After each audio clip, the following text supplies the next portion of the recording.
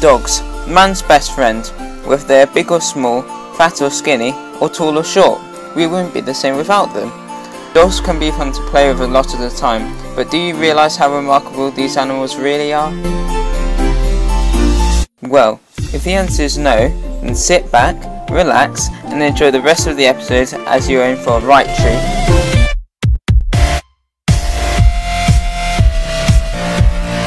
This series, I will be looking at how dogs help people and how much of the difference they really make to people's lives. Organisations such as Guide Dogs, Dogs for Disabled and many more will be focused on throughout the series. So, enough of that doggy business and let's look at the UK's largest dog organisation.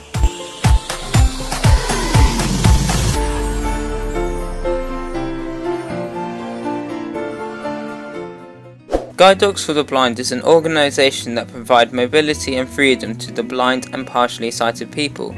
They also campaign for the rights of people with visual impairment, educate the public about eye care, and fund eye disease research. In order for the organisation to help the blind and partially sighted people, their friendly team train the dogs who would act as guides for them, right from day one up until they are a full grown dog. Recently, Guide Dogs created more than 820 new guide dog partnerships in 2013 and figures are continuing to rise with the help of their committed volunteers.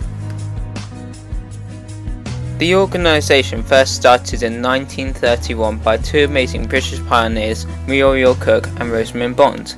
These remarkable women organised the training of the first four British guide dogs from a humble lockup garage in Wallasey, Merseyside. During the First World War, a doctor looking after war wounded in Germany was called away from a blind man with whom he was walking in the grounds of a hospital. The doctor left his German Shepherd with the man and was subsequently so impressed by the dog's behaviour that he decided to start experiments in training dogs to act as guides for the blind. So, enough about the history of the organisation and let's take a look at the Labrador breed.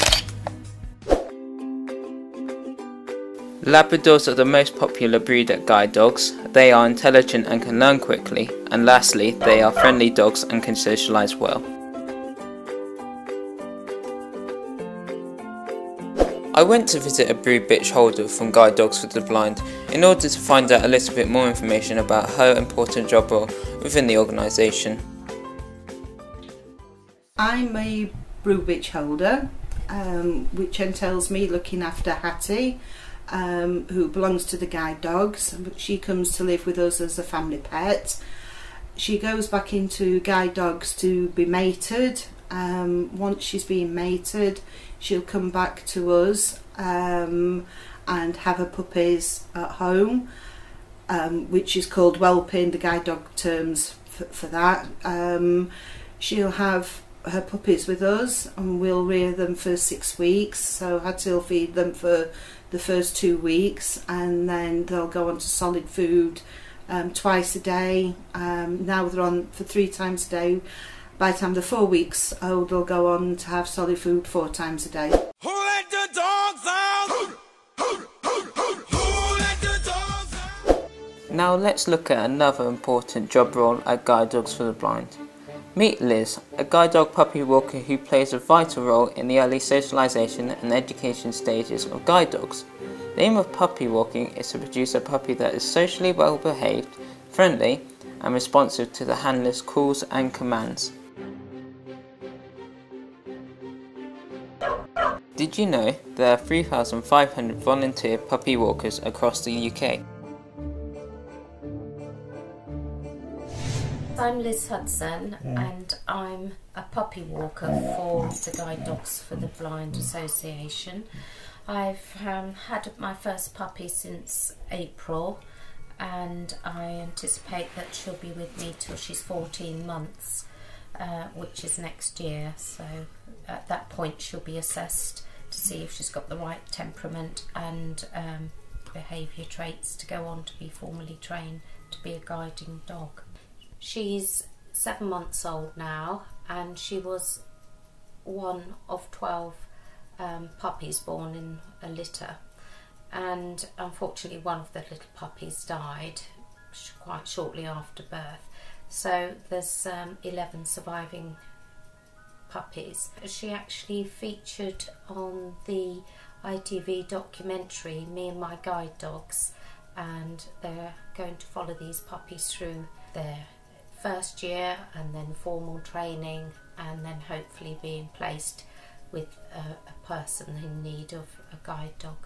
Who let the dogs out? A guide dog is trained to guide its owner in everyday situations. The organisation introduced the dogs to obstacles gradually whilst using a special lead for the dogs to wear. They also teach them to navigate their way around these obstacles. It can take a while to master, but when the dogs get it right, the trainer gives them lots of encouragement and maybe a little treat.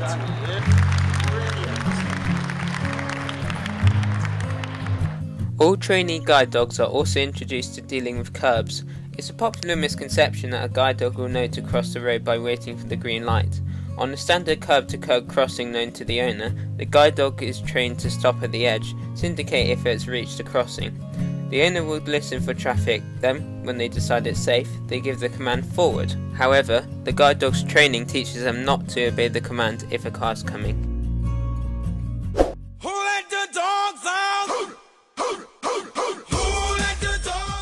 Hi, I'm Hazel Worrell. I'm the local um, coordinator fundraising for Daventry Group. I've done this for about 10 years. Um, started off as a board for guide dogs where I look after the dogs while they're waiting to be rehomed or on holiday, etc. And now I've, I coordinate all the volunteer within Daventry. So we've got a, a, broad spectrum of people that volunteer for us, and I just get everybody together. Um, monthly and we organise events within Daventry and raise as much money as possible for Guide Dogs for the Blind. Every hour, another person in the UK goes blind, which means they need to train more guide dog puppies.